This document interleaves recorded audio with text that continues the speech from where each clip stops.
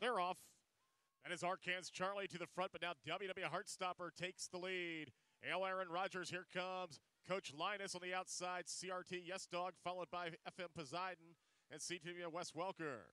WWE Heartstopper has the lead. CRT Yes Dog is now second.